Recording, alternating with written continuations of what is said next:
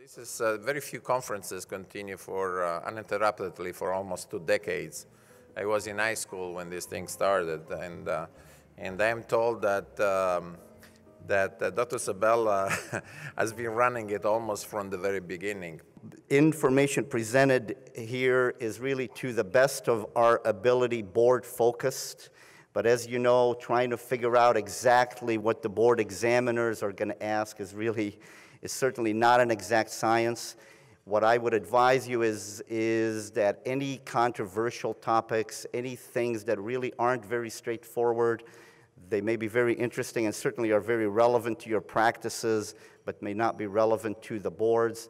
We're going to present a lot of that material to you just in case. And exactly how up to date the boards are also is, is not totally clear. So, new information that has just has just been, you know, found, may or may not show, show up, but, but generally we're going to err on providing you more rather than less information. Hello, everyone. Good morning. Thanks for coming. Uh, we're going to talk about some board review questions. I have to thank uh, Dr. Murphy. Him and I both worked on these questions together. So, our first question here, uh, we're starting with bread and butter, if that gives you a hint. But this is a 13 year old girl who loses consciousness while standing in line at a roller coaster. This is incredibly common. She reports a prodrome, says she's dizzy, lightheaded, uh, regains uh, consciousness spontaneously after about one minute. So, the most likely cause for syncopal event is A, temporal lobe epilepsy, B, Okay, so 92% of you said it was neurocardiogenic syncope, and that is exactly right. Let's examine this question like an electrophysiologist or cardiologist would. So, this is how I read this question.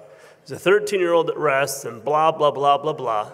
Prodrome of dizziness and lightheadedness, and blah, blah, blah, blah, blah. The, the key here, the reason why I make fun of um, not the question necessarily, but what they're trying to get at is what they're telling you is somebody who's not exerting themselves, somebody that's not in this topic was again picked um, by the uh, course directors due to the number of questions that um, show up on the boards.